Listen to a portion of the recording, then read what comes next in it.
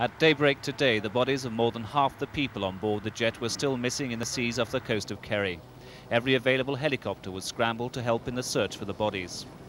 Units from the Irish Army have been called in to help with the operation at the emergency centre set up at Cork Airport. The helicopter crews have only had time to snatch a few hours sleep before flying back to the scene of the crash.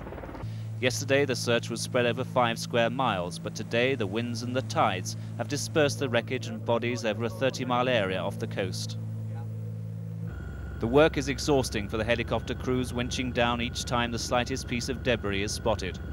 We, we saw a uh, large rectangular object, that appeared to be of a pyramid shape, floating in the water over there. Uh, the rescue teams have reported that sharks are now in the area, making their work even more hazardous. Look at it. Uh, understand there's sharks in the area, is that correct? Each piece of wreckage is vital to the team of investigators. They could provide the crucial forensic evidence to confirm that a terrorist bomb was planted on board the Air India Jumbo. The markings from the plane are clearly visible on this piece of the fuselage. Dinghies are being sent out from the naval ships on the scene to pick up the wreckage but there's so much debris spread over such a wide area that they're having to leave some to be marked with flares.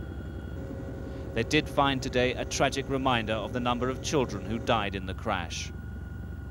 A little girl's rag doll.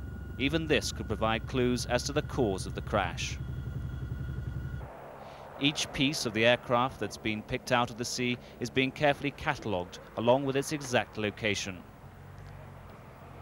It's remarkable that such large pieces have remained afloat, including a complete row of seats.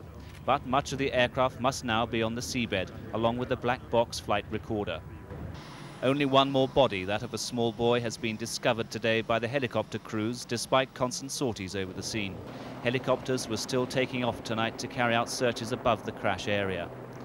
But the chances of them finding any more bodies in the seas off Kerry are now looking increasingly remote.